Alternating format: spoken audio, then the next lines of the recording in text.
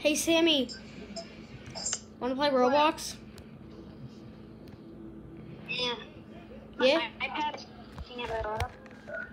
Sammy, when you can play Roblox, join me, alright?